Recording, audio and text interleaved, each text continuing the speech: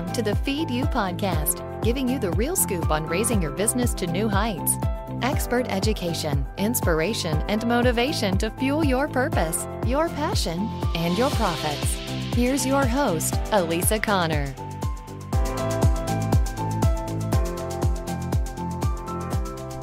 Hey there, welcome to the Feed You podcast. I'm Alisa Connor, I'm your host, and I am so grateful you're here. We are at episode 46, and I'm so excited because episode 48 is only two episodes away, and it is going to be a fun, super exciting episode. And I am really excited about that. So, if you haven't tuned into social media, um, I am putting some teasers out there already about what's coming for episode 48, and you can find those over on Instagram at Alisa M. Connor or on Facebook. And my Facebook page is Alisa Connor Consulting, but there's also a page um, set up for the Feed You podcast. So if you just go and search Feed You podcast, you'll find it. And um, you will see what's coming up for episode 48. I'm pretty excited about it. So let's get into what we're talking about today. So, this podcast, for those of you that may be tuning in for the first time, is all about how to perfect your sales funnel. And I give you inspiration, education, and information on growing your business with viable sales funnels. So, today we are talking about nurturing. And I have taken a spin on the old Gary, it's not old, but Gary Vaynerchuk. If you haven't heard of Gary Vaynerchuk, um, he is a brilliant entrepreneur who loves to curse. So, um, but he has his fourth book that I have read, and I um, learned I've learned a lot from him. So I don't appreciate his um, cursing as much as I appreciate his wisdom. So he, if you can get through the cursing, he's a great person to go and check out. Um, but one of his fourth book is titled Jab, Jab, Jab, Right Hook, and it really is the philosophy behind his business. So I have converted that over to Nurture, Nurture, Nurture, Convert. So tune into this this week's episode to, to learn all about um, the similarities between those two and how you can utilize um, both mine and Gary's, and they're very similar, um, analogy to get people into your sales funnel and turn them into leads. But before we get started, a word from our sponsor. One of the biggest frustrations I hear from business owners on a regular basis is I need more clients. And I get it. Every business struggles with getting new clients until you know how to do it. Problem is is you spend your time networking and going to events and making phone calls that don't go anywhere. You're out trying to attract people to you when there is a much easier way. Growing your email list is so important because it fills your list with potential clients who actually want to hear from you. And it gives you the ability to reach out to them on a regular basis and share what you have to offer. To grow your email list, you have got to have a great free download. Sign up for our free newsletter isn't working anymore. You've got to create a download that piques their interest, gets them to take action, and adds them to your list. Sounds easy, right? Of course, it's not easy. That's exactly why I created my new free training to help you create an awesome free download. You can sign up at alisaconnor.com forward slash create my freebie. This live training is going to present the five easy steps that I've used with my clients to help them go from hot mess marketing to growing an email list that they consistently get sales from. So you don't want to miss this training. Head on over to alisaconnor.com forward slash create my freebie and sign up today. I'll see you inside. So let's get started. I'm so excited about this episode. Uh, a few years ago, I guess it's been about three years ago now, I actually got the opportunity to hear Gary Vaynerchuk speak, and I apologize, I'm probably not saying his name right, but just go with it. Um, but he and I didn't really know a whole lot about him. Other he was really um, just getting started building a following on social media, and he was getting to be pretty well known. But you know, it was early in the days of promoting on Facebook and Twitter and Instagram and all those different things, and um, he was definitely one of the forerunners. But I really didn't know a lot about his story. And then when I heard um, heard his story, and I'm not going to go into it too much right now, but um, he basically took his family's wine business and moved it online. He was one of the forerunners in in the market to do that, um, and just brilliant, brilliant marketer. Um, but I got to hear his story. I went to a um, a conference, and he was one of the keynote speakers and so I started to to study what what he does and how he does it. And um, at that time, this book that I'm referencing, um, Jab Jab Jab Right Hook, was coming out, and it was his fourth book. And I think, if I remember right, I actually think we got a copy of this book when we went to um, the conference. And so I, I, kept in the back of my mind the um, philosophy behind this book. So I'm going to share that with you right now. Um, basically, Gary will say you got to throw some jabs before you throw a right hook. And the jab, jab, jab, right hook method is that those jabs are the value that you're providing to your audience and to your prospects and to your clients. And I talk about value on this podcast all the time. Well, um, you've got to provide value, provide value, provide value. And then the hook is you can ask them for the sale. But if you just jump in and you're trying to do like a first date, hey, you want to get married kind of thing, you're not going to have any traction with them. And so I wanted to come on and talk to you about how to nurture people through your sales funnel. And so I've changed his jab, jab, jab, right hook to nurture, nurture, nurture, convert. And it works the same way. Um, but I wanted to give you some specific ways that you could actually do some nurturing. But before we get started, you know me, I'm a stickler for um, statistics, and I really um, like to do a little bit of homework just so you know I'm not pulling this stuff out of my um, ear and hoping that, you know, hoping and praying that you guys are going to believe me. So, um, just some general sales funnel statistics 70% of leads actually 79% of leads um, that you get from your online marketing will never convert into sales and that comes from salesforce so that's a lot. That's, you know, 80%, almost 80% um, of people that interact with you online are never going to become a lead. However, there are some things that we can do to move them through um, the sales funnel. Now, I'm going to go back a little bit. If you go back to some of my episodes about story, and I believe they're episodes starting with episode 40 through 42, all about story and story brand. Um, some of the reasons that people don't purchase is one, you haven't earned the right to ask them to purchase from you yet. You're just trying to throw um, your product and service at them too soon. Um, and these are not you specifically, but this is in general why um, people don't purchase at the beginning of your funnel. Uh, the other thing is is that people just don't ask. They don't ask for the sale. They don't ever put it out there.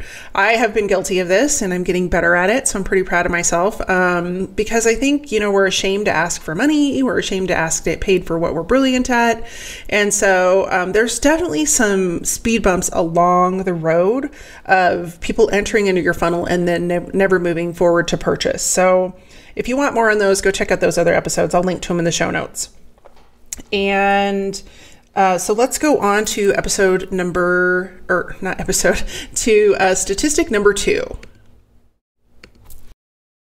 So, statistic number two is 70% of shoppers make buying decisions based on specific needs or pain points being met. And that comes from impact communication. So, this is why I harp on you figuring out what your clients need and what your prospects need. Because if you aren't addressing their pain point, they're not going to 30 70% of them aren't going to buy. So you may get a 30% that just come in and buy because you know you're you're giving them some ideas.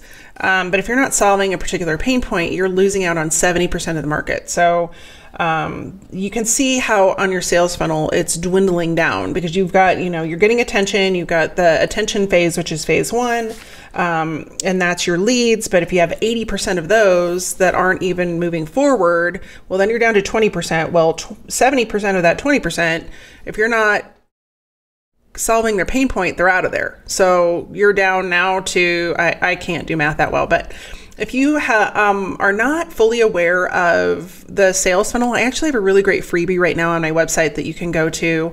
Um, that is alisaconnor.com forward slash SSFG, and that stands for um, Sales Simple Sales Funnel Guide. Um, so SSFG, and I'll link to it in the show notes so you can get to it. But it gives you some great pointers on how to get started with your sales funnel. Um, and so as I'm walking through this, you may want to go grab that and and print it out. But if you have 70% of those shoppers that are looking for you to solve their problem and you're not, they're out of there. So you can see that you're um, statistically you're fighting a, a, losing battle if you aren't handling um, problems right up front. Now, this is really awesome because this is directly in your sales funnel piece that personalized email marketing can increase conversion by 10% or more. And that comes from the Aberdeen group. And um, I actually read a statistic from them that it not only will personalized email um, get you get people to purchase more, but the click through rate increases dramatically. It's like um, 30 or 40 percent more click rate if you are personalizing those emails. So we we went through a lot of that um, personalization um, suggestions and ideas in the last two episodes. So if you're looking on ways looking at ways to personalize um, your customer experience, go back and listen to those two episodes, and that would be episodes 44 and 45. So, specifically 44. It's a great that's a great episode that you can go and get some ideas on how you can um, personalize that that buyer's journey and specifically in your email marketing.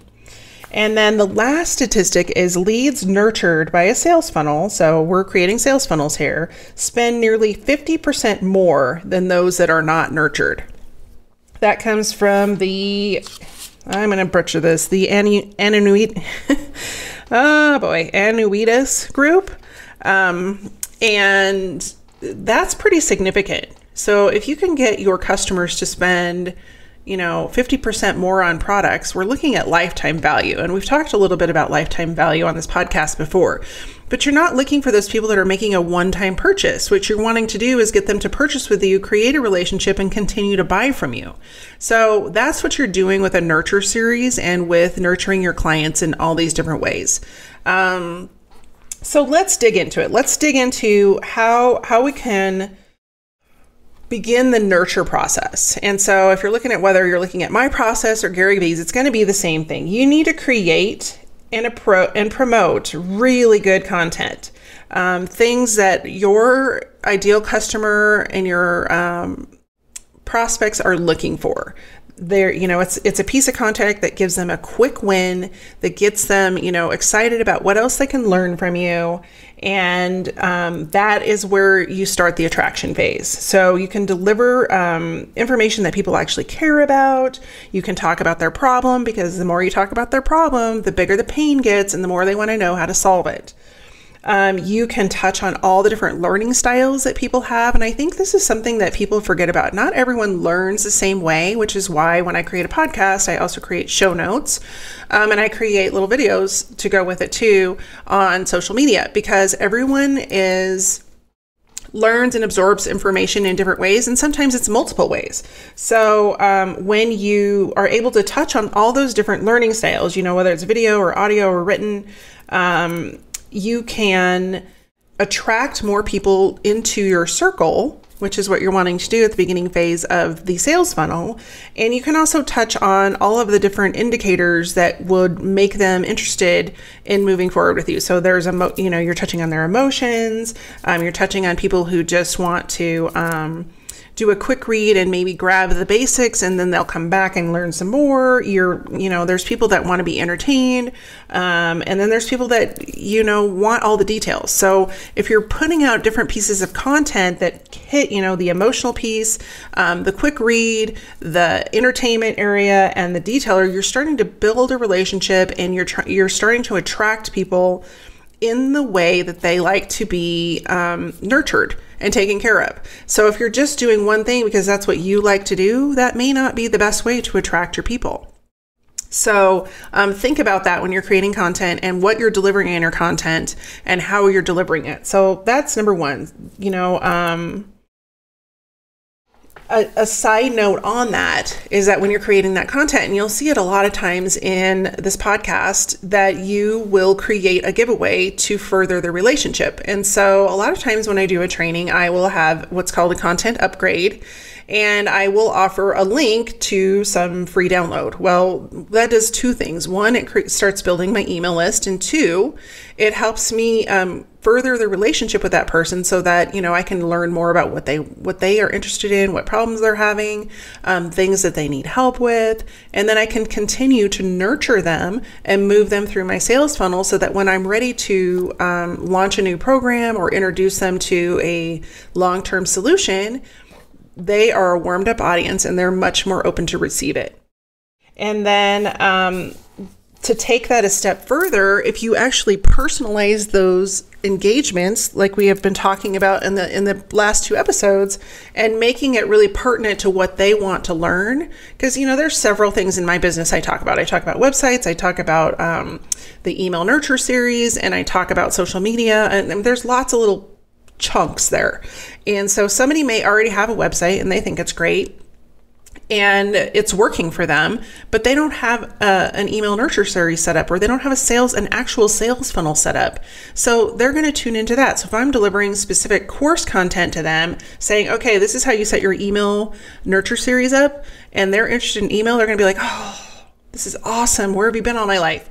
And I know you've had that experience with other people that you look up to and other, um, you know, whether it's for business or personal, if you have somebody that's ready to take your hand and walk you through that journey side by side, they're building a relationship. You know that they're not in it just for a quick sale and they're in it for the long term. So think about how you can implement that in your own business.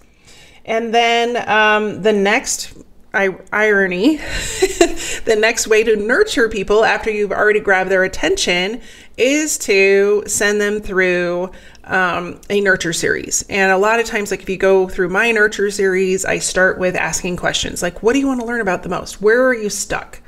And then delivering specific content to those people based on their answer.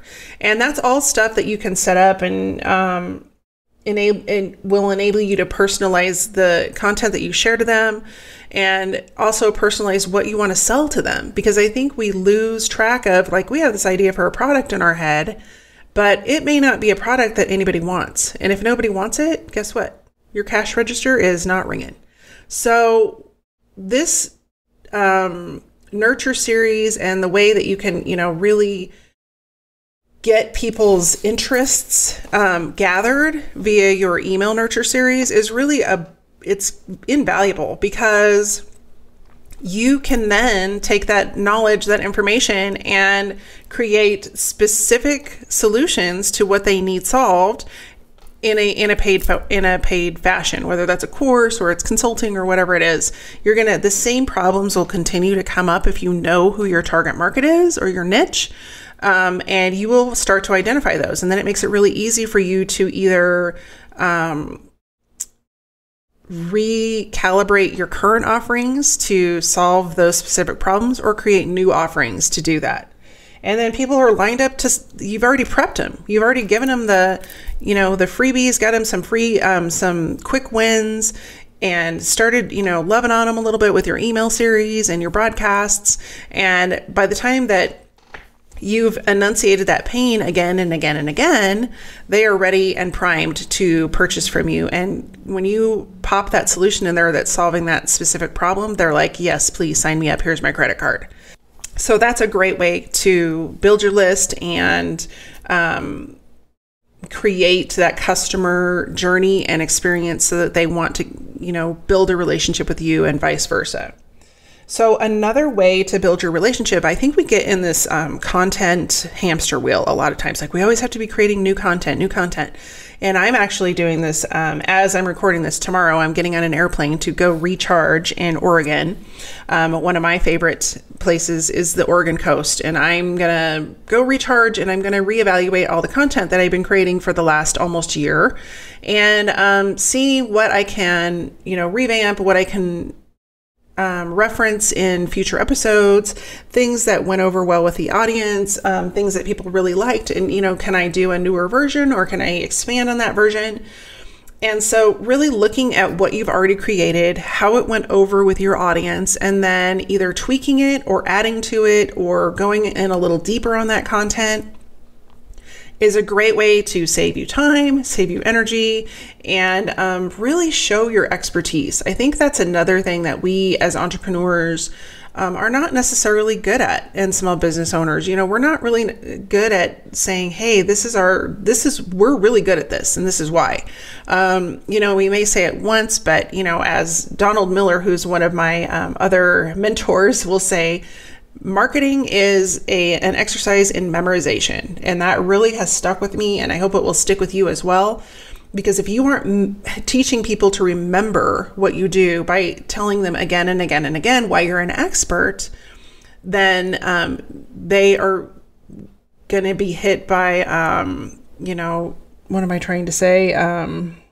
ADD syndrome. You know, there's somebody else that's going to get their attention.